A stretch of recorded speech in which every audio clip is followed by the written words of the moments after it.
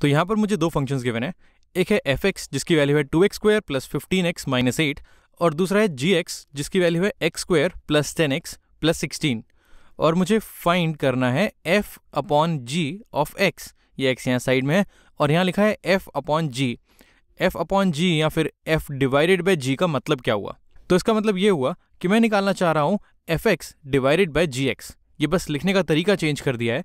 इसका मतलब है, इसका मतलब है ये हो जाएगा एफ़ एक्स ये है मेरा F X divided by divided by G X G X तो F X upon G X अगर मुझे निकालना है, अगर ये मेरा नया फ़ंक्शन है तो मैं सिंपली एफ़ एक्स की वैल्यू यहाँ से उठाऊँगा और जी एक्स की वैल्यू यहाँ से उठाऊँगा और दोनों को डिवाइड कर दूँगा। तो चलो डिवाइड करते हैं। ये लिखा इक्वल्स टू और यहाँ पर मेरा एफ़ एक्स है। एफ़ एक्स मैंने उठाया, ये हो गया two X square plus fifteen X minus eight और ये हो गया मेरा, ये हो गया मेरा डिवाइडेड बाय नीचे है जी एक्स तो जी एक्स लिख देंगे X square plus ten X plus sixteen तो ये मेरा नया फ़ंक्शन हो गया F X divided by G X या फिर F upon G of X पर यहाँ पर एक चीज़ अगर मैं ध्यान से देखूँ, यहाँ पर मैंने यहाँ पर X square plus ten X plus sixteen ये मैंने डिनोमिनेटर में रखा है। इससे पहले, जब भी मैं एफ़ एक्स या जी एक्स की बात कर रहा था और मैं उन्हें फ़ंक्शन बोल रहा था तो इसमें कुछ भी डिनोमिनेटर में नहीं था। अगर डिनोमिनेटर में नहीं था तो मैं बोल सकता हूँ कि एक्स की कोई भी वैल्यू चलती है यहाँ पे। Two X square plus fifteen X minus eight इसमें अगर मैं कोई भी एक्स डालूँगा तो फ़ंक्शन कोई ना कोई आंसर तो देगा। वैसे ही, अगर इसमें मैं कोई वैल्यू डालूँगा एक्स की तो फ़ंक्शन कोई ना कोई आउटपुट देगा। यानी कि एफ़ एक्स और जी एक्स ये दोनों चीज़ें, यहाँ पर अगर मैं लिखूँ, ये दोनों चीज़ें were defined were defined for all real values all real values of X यानी कि ये एक्स की सारी वैल्यूज़ के लिए डिफाइंड थी। पर क्या यही चीज़ मैं F X upon G X यानी कि F upon G of X के बारे में बोल सकता हूँ? यहाँ पर अगर मैं देखूँ तो मैंने फ़ंक्शन जो नया बनाया है, इसमें कुछ डिनोमिनेटर में रखा हुआ है। और अगर ये डिनोमिनेटर में कोई चीज़ ज़ीरो हो जाए तो मेरा फ़ंक्शन डिफाइन होना बंद हो जाएगा। तो जब मैं इस फ़ंक्शन को डिफाइन कर रहा हूँ और मैं ऐसे लिख रहा हूँ तो मुझे बताना ज़रूरी है कि मैं कौन सी वैल्यूज़ ले रहा हूँ एक्स की और कौन सी नहीं ले रहा हूँ। यहाँ पर मैंने बताना ज़रूरी इसलिए नहीं समझा क्योंकि मैंने मान लिया कि अगर मैंने कुछ भी नहीं बता रखा तो मैं एक्स की रियल वैल्यूज़ की बात कर रहा हूँ। पर यहाँ पर अगर मैं बिना बताए छोड़ दूँ तो तुम एक्स की वो वैल्यू डाल दोगे, जिसमें डिनोमिनेटर ज़ीरो हो जाएगा। तो चलो देखते हैं डिनोमिनेटर ज़ीरो कहाँ होता है। यह है X square plus ten X plus sixteen अगर मैं इसको फैक्टराइज करने की कोशिश करूँ, क्योंकि ये क्वाड्रेटिक है तो ये हो जाएगा, इसको अगर मैं लिखूँ, ये है X square X square plus ten X plus sixteen ये हो जाएगा। इसमें टेन एक्स को अगर मैं स्प्लिट करूँ मिडल टर्म्स अगर मैं स्प्लिट करूँ, दो नंबर्स बनाने के लिए जिनका सम टेन है और प्रोडक्ट सिक्सटीन है तो वो होंगे एक्स स्क्वायर प्लस वो दो नंबर्स होंगे। मैं देखता हूँ सिक्सटीन बनाने के लिए मुझे चाहिए फोर एंड फोर से काम नहीं चलेगा बिकॉज़ फोर प्लस फोर तो एट होता है। एट और टू हाँ एट और टू से काम चल जाएगा। X square plus eight X plus two X मैंने इस टेन एक्स को लिख दिया eight X plus two X और यहाँ लिख दिया प्लस सिक्सटीन तो इसमें देखता हूँ मैं क्या कॉमन आ रहा है।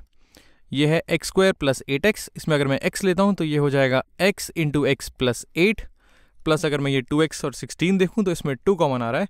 और ये भी हो जाएगा एक्स प्लस एट अब इन दोनों में से एक्स प्लस एट कॉमन लेता हूँ मैं। तो ये हो जाएगा X plus two into X plus eight इसका मतलब जो मेरा डिनोमिनेटर है, ये ज़ीरो हो रहा है जब एक्स प्लस टू या फिर एक्स प्लस एट में से कोई ज़ीरो हो।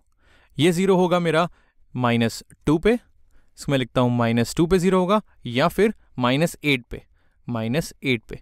यानी कि एक्स की वैल्यू जब माइनस टू और माइनस एट हो तो मुझे ध्यान रखना है कि वो डिनोमिनेटर तक ना पहुँचे। इसका मतलब मेरी डोमेन में सारी वैल्यूज़ आ सकती हैं सिवाय माइनस टू और माइनस एट के। तो यहाँ पर मेरा फ़ंक्शन हो चुका है डिफाइन और मैं निकाल चुका हूँ इसकी डोमेन मैं इसकी डोमेन यहाँ पर लिख लेता हूँ। ये हो जाएगी domain domain is equal to जो भी सारी वैल्यूज़ हैं, मैं लिख लेता हूँ। वो हो जाएँगी X belongs to real X की सारी real values such that such that X is not equal to minus two और माइनस एट एक्स की वैल्यू माइनस टू और माइनस एट ना हो। अब यहाँ पर क्वेश्चन खत्म होता है, लेकिन एक इंटरेस्टिंग क्वेश्चन तुम्हारे दिमाग में आएगा। अगर तुम सोचो डिनोमिनेटर में दो फैक्टर्स हैं, एक है एक्स प्लस टू और एक है एक्स प्लस एट अगर इन दोनों में से कोई फैक्टर न्यूमिनेटर में भी हो तो क्या होगा? क्या उससे कुछ फ़र्क पड़ेगा मेरी डोमेन पे? चलो देखते हैं। एक बार न्यूमिनेटर को भी फैक्टराइज कर ही लेते हैं। तो मैं न्यूमिनेटर को अगर फैक्टराइज करना चाहूँ तो इसको नीचे करते हैं। मेरा न्यूमिनेटर था टू एक्स स्क्वेयर ये हो गया two X square plus fifteen X minus eight. Two X square plus fifteen X minus eight. मैं चाहूँगा कि तुम इसको भी फैक्टराइज करने की कोशिश करो, एक बार वीडियो पॉज करके। और ये हो जाएगा two X square plus fifteen X minus eight. दो नंबर्स जिनको मल्टीप्लाई करके minus eight into two minus sixteen आए और उनको ऐड करके फिफ्टीन आए। तो ऐड करके फिफ्टीन और मल्टीप्लाई करके माइनस सिक्सटीन, यानी कि एक नंबर पॉजिटिव होगा, एक नंबर नेगेटिव होगा। और ऐड करके अगर फिफ्टीन आ रहा है तो बड़ा वाला नंबर शायद पॉजिटिव होना चाहिए। अगर मैं देखूँ सिक्सटीन और माइनस वन इन दोनों नंबर को अगर मैं ऐड करूँ तो मुझे 15 मिलेगा, और मल्टीप्लाई करूँ तो मुझे मिलेगा माइनस सिक्सटीन और यही मुझे चाहिए।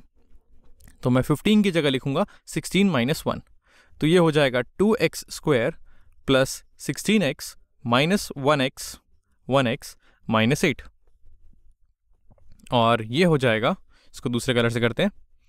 ये हो जाएगा two X square, two X square में से मैं टू एक्स कॉमन लेता हूँ।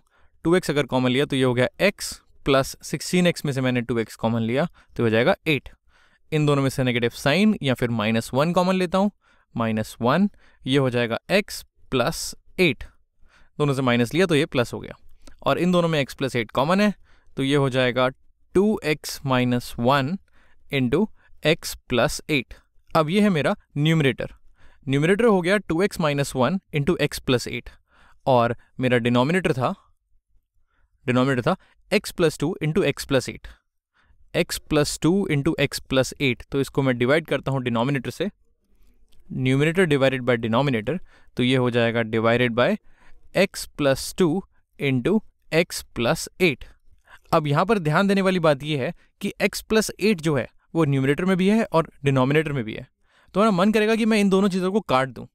अगर मैं इन दोनों को कैंसिल आउट करूँगा तो मेरा जो नया फ़ंक्शन बनेगा, जिसको मैं बोल सकता हूँ कि एफ़ अपॉन जी एक्स है, जो मेरा नया फ़ंक्शन बनेगा, ये है मेरा F upon G of X F upon G of X और मेरा जो इसको काट के जो मेरा नया फ़ंक्शन बनेगा, उसको मैं मान लेता हूँ थोड़ी देर के लिए, उसको मान लेता हूँ थोड़ी देर के लिए, कि वो है एच ऑफ़ एक्स अगर इन दोनों को मैंने काट दिया। तो एच ऑफ़ एक्स ये होगा मेरा two X minus one upon X plus two क्योंकि मैंने एक्स प्लस एट दोनों में से काट दिया। तो मेरा सवाल ये है कि क्या ये दोनों चीज़ें सेम हैं? क्या f upon g of x और एच एक्स दोनों सेम है? दोनों सेम चीज़ बता रहे हैं। पता लगाने के लिए कि ये दोनों फ़ंक्शंस सेम है या नहीं है, क्यों ना हम एक्स की वैल्यूज़ से पूछते हैं कि वो क्या कहती है इन फ़ंक्शंस के बारे में।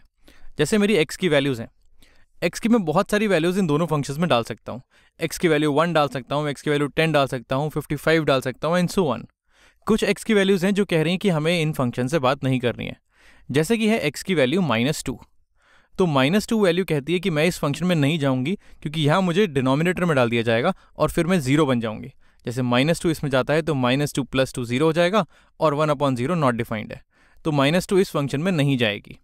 वैसे ही माइनस टू इस फ़ंक्शन में भी नहीं जाएगी। माइनस टू जब यहाँ जाएगी तो यहाँ पर माइनस टू प्लस टू फिर ज़ीरो हो जाएगा और ये one upon zero not defined हो जाएगा। तो माइनस टू जो वैल्यू है वो इन दोनों फ़ंक्शन से बात करना नहीं चाहती है। अब देखते हैं माइनस एट का क्या कहना है इन दोनों फ़ंक्शंस के बारे में। तो अगर मैं माइनस एट को एच एक्स में डालूं तो कोई प्रॉब्लम नहीं है। यहाँ पर एक्स प्लस एट पहले से हटा दिया गया है और माइनस एट आराम से न्यूमिनेटर डिनोमिनेटर दोनों में जा सकती है। कहीं पर ज़ीरो नहीं आ रहा डिनोमिनेटर में और माइनस एट के लिए ये फ़ंक्शन डिफाइंड है। माइनस एट आराम से इससे बात करेगी और मुझे कोई ना कोई आउटपुट मिल जाएगा। मुझे h of minus eight defined मिल जाएगा। H of minus eight is defined लेकिन एक्स प्लस एट काटने से पहले, जैसे यानी यानी कि f f upon g of x के बारे में बात करूँ तो माइनस एट जब इससे बात करेगी तो ये बोलेगा कि यहाँ पर अगर मैं माइनस एट रखूँ तो ये minus eight plus eight zero minus eight plus eight zero upon minus eight plus eight zero zero upon zero वाला केस बन गया। काटने से पहले एक्स प्लस एट काटने से पहले अगर माइनस एट को मैं इसमें डाल दूँ तो ये ज़ीरो पॉइंट ज़ीरो को कैंसिल करने वाली स्टेट है। इसको डिफाइन करने के लिए मुझे ज़ीरो को ज़ीरो से काटना पड़ेगा, जो मैं नहीं कर सकता। यानी कि माइनस एट इस फ़ंक्शन से बात करना नहीं चाहेगी।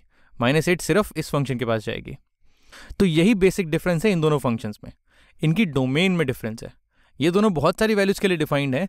ये डिफाइंड है हर वैल्यू के लिए। एच जो है मेरा, लिख लेते हैं। एच जो है, इसकी डोमेन हो जाएगी मेरी। इसकी डोमेन हो जाएगी मेरी सेम कलर से लिखते हैं। ये हो जाएगी x belongs to R such that such that x is not equal to minus two और वही चीज़, वही डोमेन अगर मैं एफ़ अपॉन जी एक्स की देखूँ तो इसकी डोमेन हो जाएगी x belongs to R x belongs to R such that x is not equal to minus two और माइनस एट ये जो और माइनस एट वाला जो डिफरेंस है, ये इन दोनों फ़ंक्शंस को अलग बना देता है। इसकी वजह से मैं बोलूँगा कि ये और ये सेम नहीं है। तो जो मुझे क्वेश्चन में गिवन था फ़ंक्शन जो मुझे क्वेश्चन में गिवन था फ़ंक्शन क्वेश्चन में गिवन था find f upon g of x उसमें एक्स प्लस एट पहले से मुझे कटा हुआ कैंसिल किया हुआ नहीं मिला था। तो इसलिए उसकी डोमेन में लिखूँगा x belongs to real x is not equal to minus two और माइनस एट यही छोटी छोटी चीज़ें बहुत ही सेम दिखने वाले फ़ंक्शंस को कभी कभी बिल्कुल अलग अलग बना देती हैं।